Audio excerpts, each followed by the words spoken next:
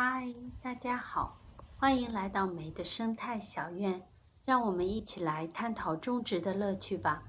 不知不觉到了十月初，还能继续种秋菜吗？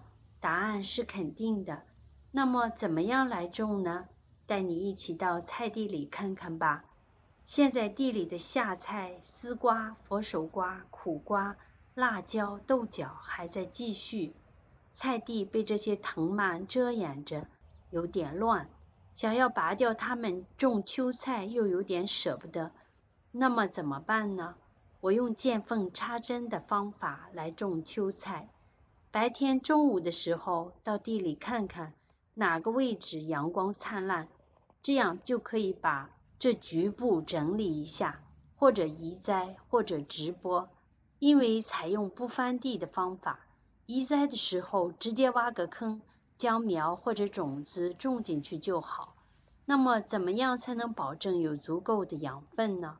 我就是采用在移栽的时候，将堆肥直接放入坑内，或者在土表面局部直接撒上堆肥的方法。等到后期收菜秧的时候，也不将根拔出来，而是沿地面剪断，这样。底部的根系就会在土壤生命体的作用下降解，又转化成小苗所需要的养分，并且在浇水的时候可以采用一些液体的有机肥来进行浇灌。那么，怎么样准备种子和苗呢？我采用了两种方法，一种是地里直播，第二种是育苗盆育苗移栽。无论是哪种方法，一定要注意以下几点。第一，就是要选择合适的耐寒蔬菜。目前为止，如果当年吃的，我会种植一些小青菜、芝麻菜、小水萝卜等。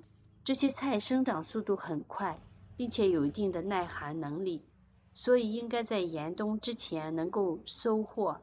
另外，我会种植一些菠菜、香菜、耐寒的豌豆等。这些菜的生长相对缓慢一些，但是耐寒能力相当强。来年天气一旦转暖，就会快速生长，这样就大大的延长了生长期。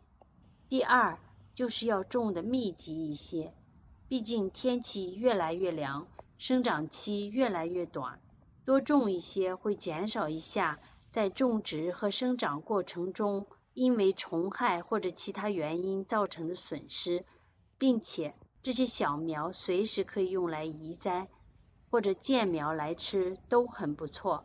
我已经用这种方法在地里见缝插针的种了好几批蔬菜，目前生长的还不错。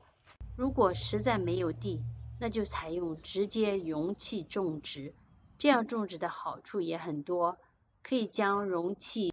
力移动到合适的位置，天冷时也可以很容易的建立简单的保温措施来进行保暖。希望大家都能够抓住今年种植的尾巴来种些秋菜吧。好啦，今天的视频就到这里，谢谢大家，再见。